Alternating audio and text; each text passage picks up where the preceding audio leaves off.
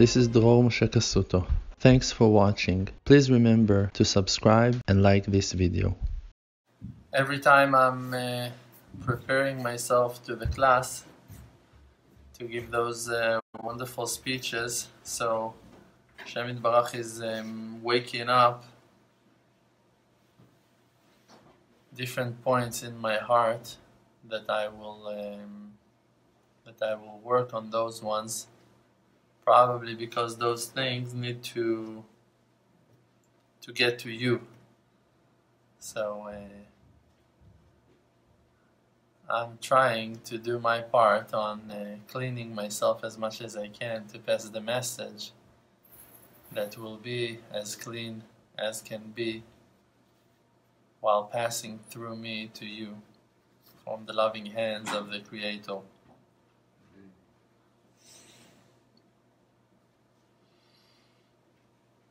You learned under Shalom Arush? Yeah. In the um, in the most amazing way a person is uh, always trying to find answers to his questions and trying to figure out what Hashem wants from him. But um, through my inner search and finding answers inside my uh, my soul, my emotional body, and my spirit, I found out that the Creator is talking to us in a way that is much, much deeper than we even would hope that it would be. The Creator is talking to us through us. When you speak to your friend, so when you ask him a question, when you tell him something, so you're expecting the answer to come out from outside, that you just now gave out your thought, you asked him a question, and then he replies, then he answers you. But when you speak to the Creator, so David HaMelech is saying, daberivo, while I'm speaking to him, Zachor od, I'm going to remember him more. While I'm speaking, listen to your own speech. Listen to the words. Hashem is so great that he's beyond this world. He's got abilities that are way, way higher than what we expect him to have. We don't understand how deep he is inside of our thoughts. Like the verse is saying, "Terem tikre'u v'ani. Before you're going to call me, I'm already going to answer. For us, it's impossible even to understand. It cannot be. How can it be? Before I'm going to ask him, oh, so now you need to say, yes, he knows all the thoughts. He knows more than the, all the thoughts. He's the one that put those thoughts into your mind. And many people are losing track because of that, because people are running too deep with their thoughts, trying to become spiritual, and they're trying to understand, okay, so where's the free choice? So if I don't have a choice, so if Hashem is choosing, if Hashem is putting those thoughts in my mind, so what? So I'm saying to all of those people that with no criticism, just from from from my my my bleeding heart, from my crying heart, I'm telling you guys, don't be wise guys. Don't try to think too much. Try to be more honest with yourselves and relax and stop questioning all of the time on Hashem's existence and on Hashem's power and on Hashem's way and about the rules of the Torah and about if I'm gonna be punished or not gonna be punished, gonna be drop your nonsense and, and keep the simplicity in your avodah while you're trying to serve. And even if you don't understand it completely, just keep on doing your job and with the time the answers will come and the understandings will, will penetrate and and and the water will will fill all the gaps and, and the, the thinnest cracks of them all. And uh, You say and now when when when a person is coming to that place that he's that he's having a conversation with the creator he can hear the voice of the creator coming out of his own mouth while he's speaking to Hashem means that when you go and have your hitbodedut, when you go and you speak to Hashem Barach, first of all, the first thing that you need to listen to is to your prayers. It's to your words. What was I praying for? What was I asking for? Where those requests came from? What is so painful for me from inside that brought me to ask that question? And also, what brought me to ask that question in the way that I asked? Who am I? Hashem is revealing those answers to you while you're asking your questions. From asking those questions, you can learn who you are, why you're asking. And those questions that you ask are, are only simple requests of a person that is trying to find the way. To find the way is to find out who you really are. So we must work hard on our self awareness, to work on ourselves, to understand who we are, and what is the mission, and what is the purpose of our life, and why we're here, and who we really are. And while working on that, you can achieve the heights. Now,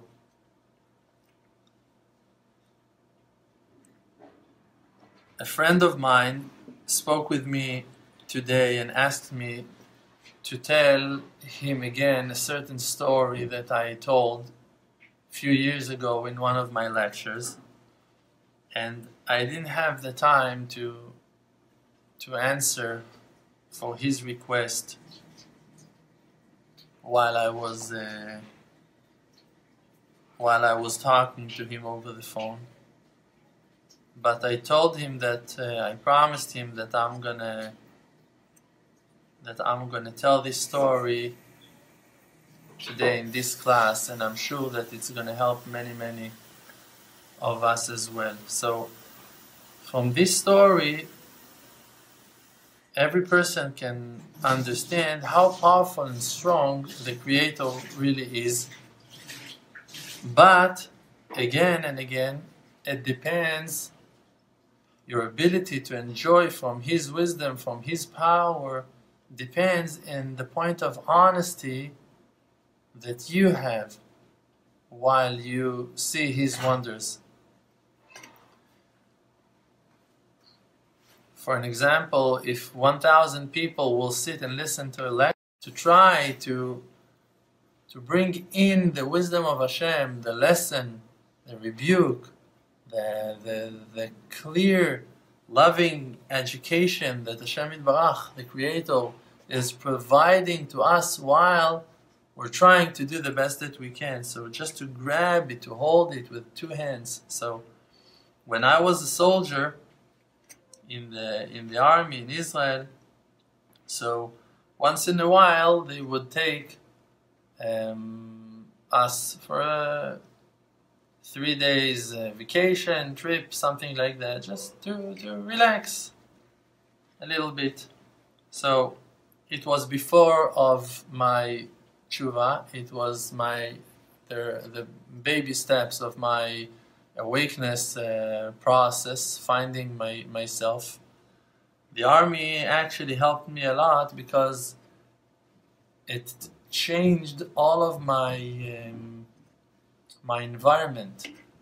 Instead of being attached to the same people that I grew up with, it took me to a different um, zone, and I had to deal with more things on my own, and especially the opinions and thoughts that were new to me, that came out from mouths of, of my new friends in the army, and certain situations over there that woke me up to to start investigating and thinking in a deeper way about myself. So when we went to that trip, so um, So they took us to the north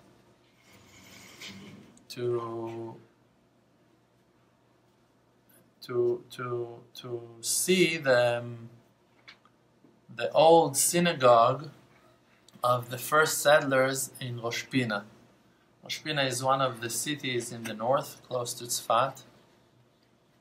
And um, when we came to that ancient old synagogue, it's a beautiful synagogue with 12 windows, like the, the halacha is saying that the best way to build a synagogue is with 12 windows. And um, and when I was and when we were there, we came into that synagogue. Everyone were very impressed. Everyone were very excited to to see that place. It was beautiful. The the ceiling were were painted and uh, amazing drawings and and and everything is old and, and, and beautiful. And from the windows, you can see the old cemetery that's in the valley under the under the under the mountain that that that synagogue is on top of that mountain. And in that valley there is a, an, the old graveyard of, of Rosh and uh, those settlers that built that synagogue are buried over there in that graveyard in the valley. And um, we came as secular soldiers to that synagogue we didn't really care. We didn't really know about the Jewish rules that you need to sit separately, men and women, and we, we didn't thought about those things at all. For us, it was not a religious um, experience. It was just like learning a little bit history, whatever, spending time, all of the friends together, and um, I was. Uh, I was wearing my, usually that's what I was wearing, black pants and um, black tank top and leather um, belt with uh, silver spikes and my black Dr. Martens and with my spikes on my uh, my head, whatever. I had my tattoos all over my uh, my body, and I was uh, I was cool. And I had a black hat, I remember as well. And um, and when we came, so everyone just sat randomly, took places, and there was a guide, a, a person that taught us, a teacher that was telling us about the settlers and the wars that they had with the with the with the Arabs in those days on the on their uh, the war of of of coming back home. Still haven't finished that war.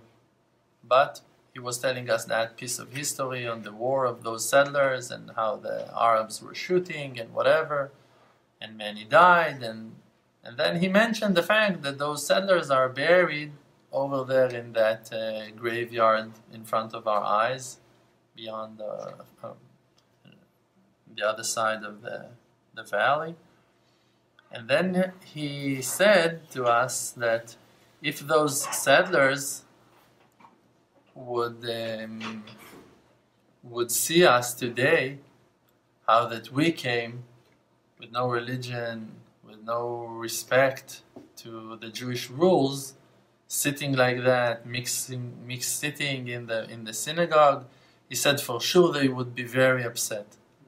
Now everyone are sitting on their seats and their chairs, and I, some kind of uh, prophecy, I don't know, sparks from the future I went up to the stage immediately. It was like a, a, natural thing for me to go and to to stand on the bima on the stage. I don't know, but Hashem just sent me over there, and I was standing in the place of the Chazan, in the place of the rabbi that the rabbi is supposed to to stand and to speak. And I was just standing over there. And when that person just said those words, if the settlers that built that synagogue have seen us sitting now like that, they would be very angry. They would be very upset. He just finished completing that sentence, and all of the windows, one after the other, were immediately closed and open again, one after the other. Like boom, boom, boom, boom, boom, boom, boom. 12 windows, one after the other. And everyone watching them closing and opening one after the other. Bang, bang, bang, bang, bang. All of those 12s like that in a circle. And people were screaming over there. It was, it was, it was terrifying. People were very scared. A friend of mine, he found the kippah a head cover on the on the shelf immediately took it and, and ran out from the synagogue and other people everyone like something happened to him and i was very excited i was very happy to see that that the world contains spirituality that really spirits are exist. And everyone saw it. There was no argument. Everyone were talking about it. All of the people that were there all of the soldiers. And it was a clear evidence that what that he said one second before was right. And immediately like, there were women that were covering themselves over there, and and uh, and it was a very clear message. So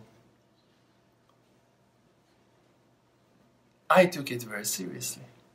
I took that as a clear sign from heaven that things are happening in this world. That this world is not an empty world this world contains spirituality.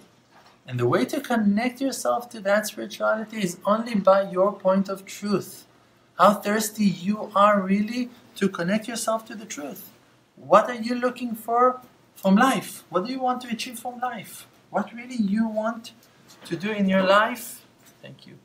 What do you really want to achieve from life? And, and that's what you're going to receive. That's what the day will provide you from heaven it depends in your honesty. What is your search? What is your goal? There is an amazing story about Rabbi Eliezer ben Urkenus. He was the son of a very rich, wealthy person, Horkanus, and he desired to learn Torah. And he was, if I'm not wrong, he was 27 years old, or 27 or 23, but I think he was 27 years old and he never learned Torah, Eliezer ben Horkenus. And he was crying, I want to learn Torah, I want to learn Torah, I want to learn Torah, I want to learn Torah. And then he went to Jerusalem and he went and he learned Torah from the mouth of Rabbi Yochanan uh, ben Zakkai. Rabbi Yochanan was his rabbi and he taught him, he was the prince of Israel, and he taught him all of his wisdom. And when he, when finally Rabbi, Yochanan, Rabbi Eliezer ben Horkenus opened his mouth after learning for a few years from Rabbi Yochanan ben Zakkai. The, his face was shining like the sun in, in, in the noontime, like the face of Moshe Rabbeinu when he was giving the Torah. So you're talking about a person that is learning only few years, and that before of that he was 27 years old and he never learned anything. When he first came to Rabbi Yochanan ben Zakkai, Rabbi Yochanan asked him, "Okay, what do you what do you know?" Told him nothing. He didn't know how to say Kriyat Shema. He didn't know how to say to bless on the food, Birkat Hamazon. He didn't know how to stand Shemona Esrei. He didn't know the halachot, the basic rules. He didn't know. He was 27 years old. So now you're going to say, no, it's Eliezer ben Horkenus, no, it's Rabbi Akiva. Rabbi Akiva was 40 years old when he started his tshuva process. So why won't you accept that you also can achieve the level of Rabbi Akiva? So what if you're 40? So what if you started your tshuva when you were 27 or or later or even 60? You don't know. For sure we have stories on people that started their tshuva when they were 60 and also achieve huge levels students of the Baal Shem Tov or whatever. Rabbi Akiva was 40 years old. It's crazy. Yes, and, and, and, and, and when you understand that those people really achieved huge levels, so you ask yourself, okay, how? How? Because it was Rabbi Akiva? No, that's a lie. That's a lie that you're making up for yourself to avoid to to to to avoid yourself to to exempt yourself from having that potential to achieve huge levels. You rather to say, no, you know, Rabbi Akiva, he was a special soul. Rabbi Akiva was like this, Rabbi Akiva was like that. No, are you comparing me to Eliezer ben Orkanus? I'm asking you, why not? Why not? Why not to believe that the Creator gives you also a potential to become a prophet? Why not? Why not? Why not to believe in the simple words that the Torah is telling us that if we will keep the Torah, that if we will follow the guidings of the righteous people, if we're going to follow and obey the will of the Creator, not some crazy rabbis that are coming with their mm, twisted methods and now you need to follow whatever this rabbi is telling you and now you have that rabbi and you need to follow him and that rabbi and that and suddenly you hear rumors about that rabbi i'm not telling you follow rabbis. I'm telling you follow the truth. Why not to believe that you have an inner access to the truth to the creator? And now when the creator connects you from inside you don't need anything else. You have Hashem. So how are you going to find Hashem? It depends in your honesty, in the intention of your heart. So what you need to do, you need to uncover, unleash your heart. You must save yourself, release yourself from your from your prison, from your fears, from your anxieties, from your stress, from from all of the imaginations that are blocking you from finding your true self. You need to be honest with yourself and to ask yourself, like a warrior, like a hero, who am I and what am I doing in this world? What is the purpose of my existence? Why am I here? Why am I here? What is the purpose? to wake up every morning, to go to the synagogue, to pray shacharit, to eat only kosher, to live religious life. That's your purpose. If that's your answer, perfect. Go with that. Maybe you have something else. I once spoke to my rabbi long, long time ago, and he told me if people got talents, abilities, that they've been blessed in certain talents, they're not allowed to sit all day long in the Beit Midrash and learn Torah. They must use the talents that the Creator gave them. Because if they're going to sit and learn Torah all day long, they're not going to use the talents that God gave them. So, what they've been, those talents been given to those people for? For what? Now you know how to play the guitar, but you don't touch the guitar. Why you don't touch the guitar? Because I rather to learn Torah. Great. So why Hashem gave you that ability to play the guitar. You are now taking that gift that you received from heaven and you reject it. You say to Hashem, No, Hashem, I'm sorry. I rather to do something higher. What do you know? The Rambam is saying that a person cannot be a prophet, cannot receive prophecy, cannot see the Creator unless he's happy and he hears music instruments, people playing music, and everyone are having fun, and he's now climbing to a high place. And over there, eh, when he's happy and he's singing and he's dancing, there, in that place, he can see Hashem. He can see those amazing visions that Hashem is showing him with no drugs, with no alcohol, with no medicines. Only through his happiness and joy. Okay, now, so you have that power. You have that talent. King David was playing music. Shaul, that he was the first king of our nation, Shaul was calling King David to come and to play for him. Why? Because he was sad, because he was depressed, because he was going through things, and he needed someone to come and to play for him. So who he called? He called King David. And King David came and was playing for him, making music. So now you got that gift and you're going to reject it. Why? Because you rather to learn Torah. Okay, great. So you're wiser than King David. Fantastic. Everyone are clapping to you right now. Amazing. Be wiser than King David. You know better. Hashem gave you a talent, Hashem gave you an ability, Hashem connected you. Now you have a certain key. You have an access to something colorful that God made in His world. You know how to illustrate. You know how to sing. You know how to dance. You know how to run. You know how to play basketball. You think there is no purpose for that? So why God made you with that ability to throw from the half of, of the court to and, and, and to shoot those hoops? How? How? Why? Why Hashem gave you that ability to play with the ball like, like you're born with that ball? Why? Why? For no reason? Try to think. Dare to think. Dare to think. Don't follow those people that are blocking you from your true potential. Listen to that voice. I'm not telling you go and play in the NBA. I don't know. Maybe you should go and play in the NBA. I don't know. Maybe. But something can be done with your talent. I am telling you that for sure. You can go and you can find some young kids and play with them. You can do wonders. You can play, you can run, you can jog, you can sing, you can perform, you can do amazing things with your talent. And even if your talent now is to be the best lawyer in town and you have the biggest, most successful office in Manhattan, still try to think why Hashem put you in that position. What can you do with your ability? With your money, with your wisdom, with your memory, with your power, with numbers, with whatever Hashem gave you. With that you need to work. Because those are the tools that the Creator gave you.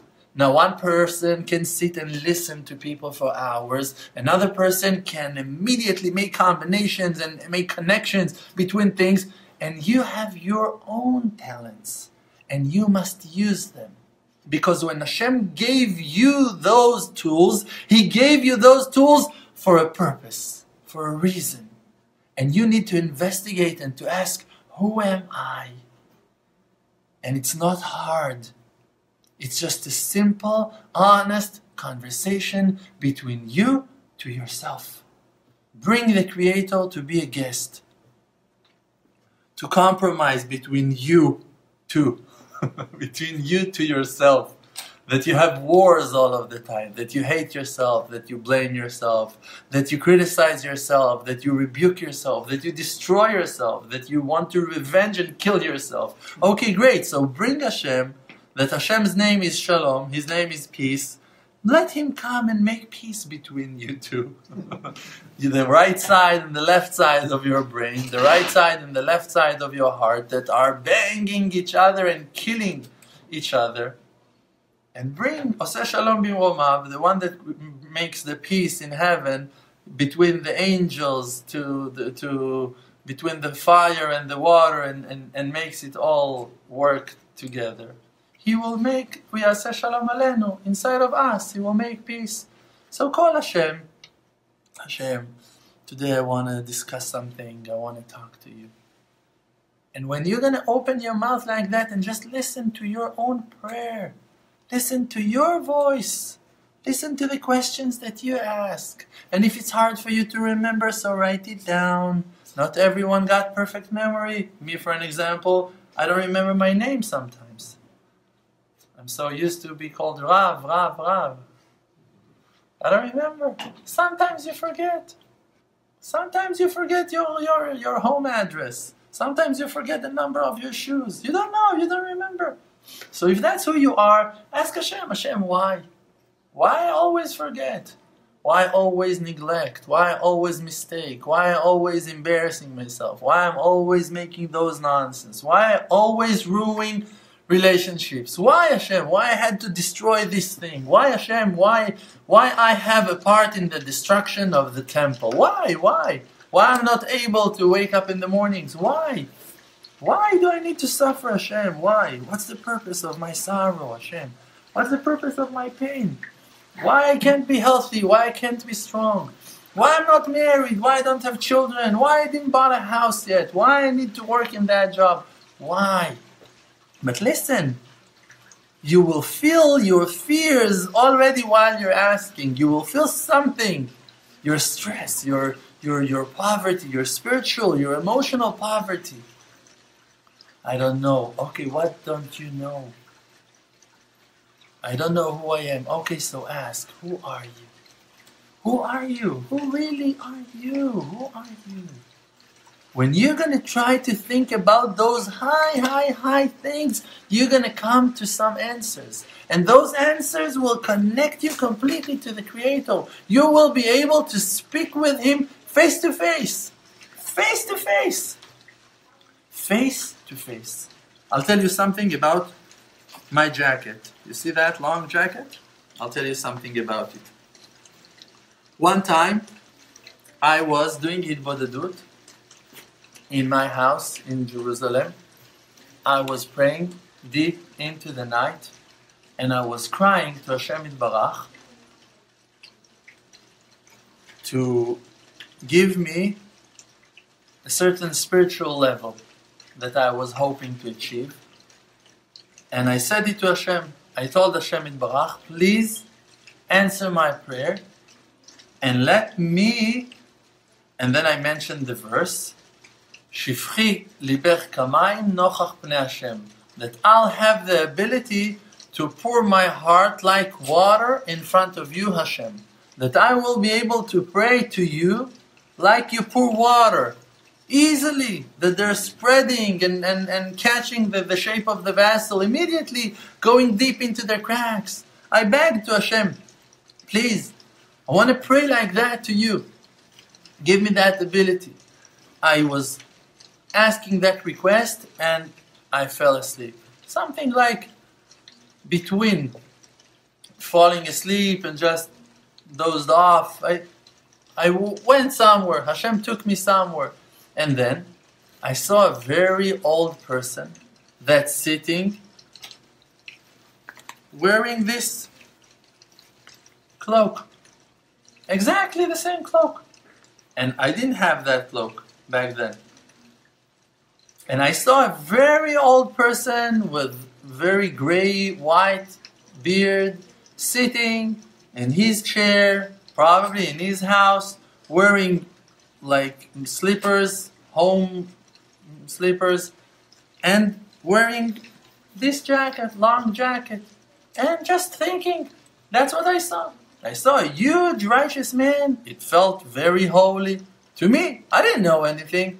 I woke up, finished my Bodedut, and in the next day I went and I spoke with my Rebbe, and I told him what I saw, what I was asking, and what I saw. And he told me, you saw Rabbi Yehuda Zev Lebovich. Was a righteous man that passed away a few years ago, that his name was Rabbi Yehuda Zev Lebovich. Great. And my rabbi knew him. I never saw him yet before that day, but he told me that how that you described him and that cloak, that outfit that you described to me, it's him. And it is the real vision that you saw, and he revealed himself to you, and it's a proof, it's an evidence, that vision that you had, that your prayer been accepted. Because Rabbi Zev Lebovich achieved that level. Okay. Can you do something with that information? Nothing. Like you, I didn't know what to do with that. Okay, great. Thank you, Hashem. I was happy. Nice to do it. Great. Whatever. Didn't know what to do with that. But after a few years, I heard, I saw Rabbi Zev Lebovich a few times after it, and thank God. But after a few years, maybe four years from that day, in one of the nights, I received a phone call from a good friend of mine. His name is Rav Aaron Yitzchak Stern. He's the son of Rabbi Alter David Chaim Stern from Bnei Brak. And Rav Aaron told me that they need help with certain handwrites of Rabbi Yehuda Zev Lebovich. They want to find a rabbi that knows halacha, that knows Kabbalah, that will be able to to explain, to understand the deep, deep handwrites in Kabbalah of Rabbi Yehuda Zev Lebovich. So he called me to ask me if I'm familiar with a person like that, with a rabbi that is very gifted in Kabbalah, that he will be willing to, to, to put some time on the handwrites of Rabbi Yehuda Zev Lebovich. So I told him, yes, I know the perfect person for that. There is a rabbi. He's the rabbi that married my wife and, and I. He's amazing. His name is Rabbi Yochai Raz. He's a genius in Kabbalah. He learns Baal HaSulam. He's a genius. And he's a very positive and friendly person. I love him. And for sure that he will be willing to, to help. So he said, Great, so come to my house, take the books, and show it to him. Let's see. So, to make a long story short, I went, I drove, I, I, I was doing all of the, the, the, the sweating part, all of the effort. I was driving, um, taking it, meeting with him, and going back. And I put a lot of effort. And in the end, thank God the result was wonderful, and they were able to bring out those handwrites, those scripts of Rabbi Yehuda Zev Lebovich, and hopefully soon it will see the light in uh, in a deeper way to become to be a book. But as for those days, we achieved what we wanted. We accomplished what we what we hoped to achieve, and then I had to bring back the books to Rav Aaron. So I took all of the books of Rabbi Yehuda Zev Lebovich, his books that he was learning, and while he was learning, he was writing to himself on the sides or between the lines comments of his wisdom, of his understandings in Kabbalah, things, secrets. Um, I promise you that angels can't understand what that he wrote over there. It is so high, so it's huge, huge wisdom. And I took those books and I drove with them to Bnei Brak to bring them back to Rav Aaron Stern. And when when I brought them into his house, so he told me, "Now I want to give you a gift." And he went to another room and he came back with that cloak. And he gave me that cloak that Rabbi Yehuda Zev Lebovich was wearing usually in his house. And I saw Rabbi Yehuda Zev Lebovich wearing that cloak. So, again, how you achieve those things? What you need to do? Like I told you in the beginning, when I saw that vision while I was doing this Hitbodedut, okay, great, thank you Hashem, wow, exciting Hitbodedut, whatever. That, it, that's not the main thing. The main part was that I was honest while I was asking my request that I will achieve that level, that my prayers will flow like water, that I will be able to express myself, to tell Hashem Barach all of my heart, like water, in front of Hashem. That prayer was an honest prayer that been accepted. And it, when it been accepted, I've been answered in a way that I couldn't even plan, couldn't even think, couldn't even dream of. So things like that can take place in each and every one of you guys' life. You just need to be honest.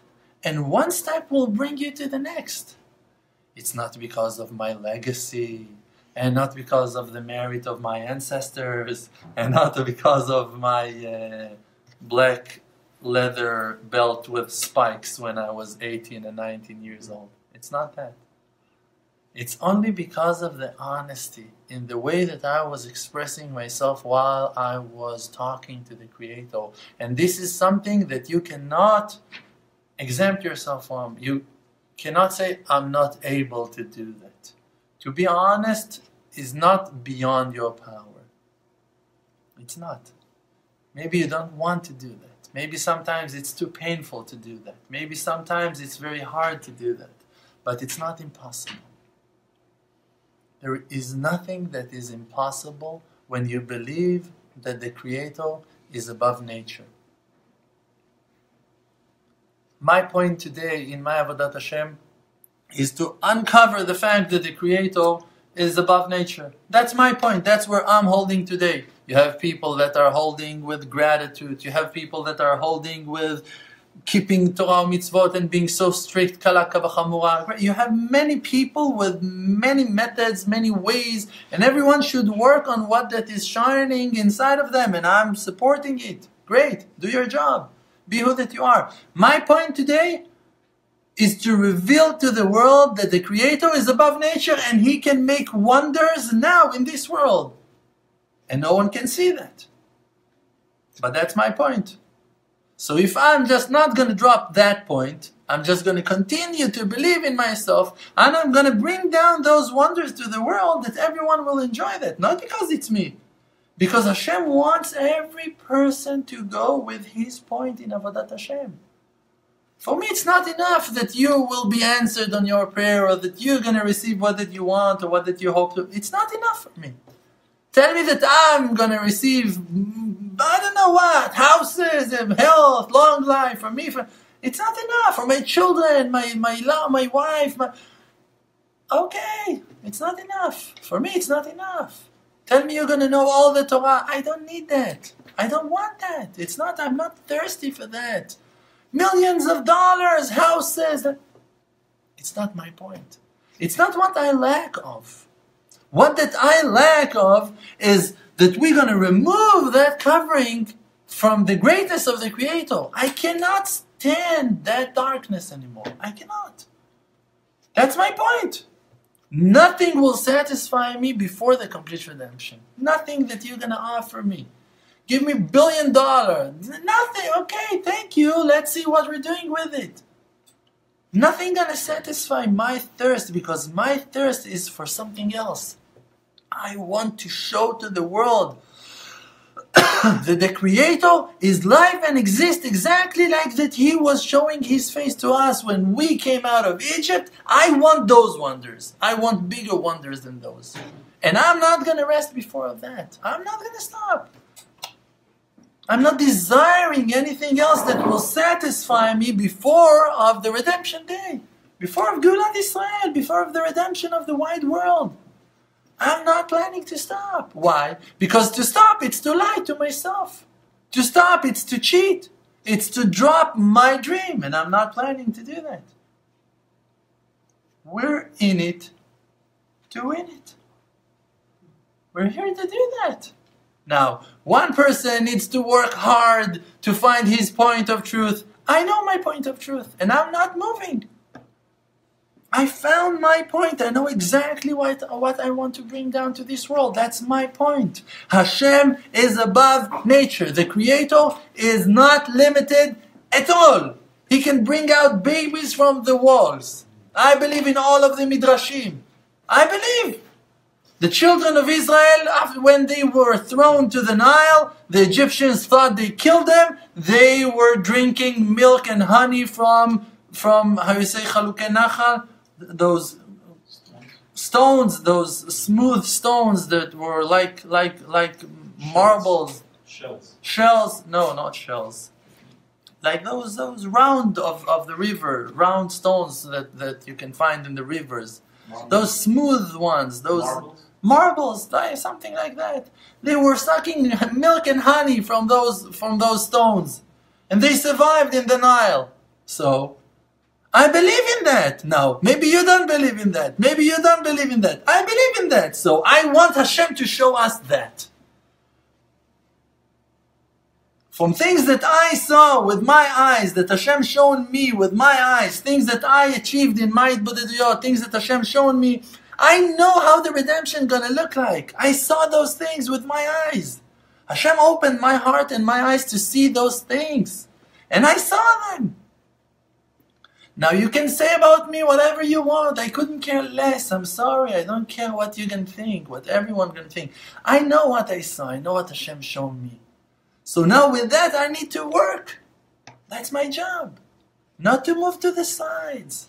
Not to think about anything else except of how we gonna show the world that the Creator is with us.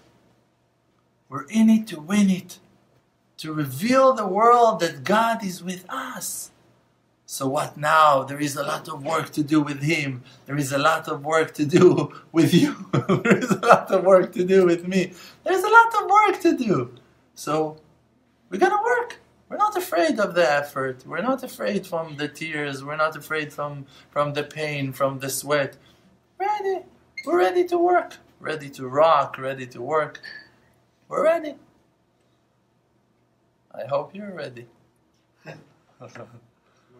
If you're not ready, so uh, get ready. it's about to come.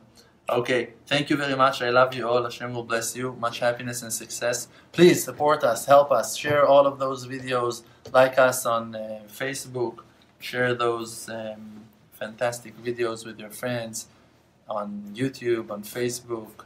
Visit our website, emunah.com. Buy the book. It's too much for you. And you know why I called it It's Too Much for You? Because it's too much for you. it's really too much for you. But I'm gonna pray for you that you're gonna achieve it and that you will get a lot. Thank you. Be blessed.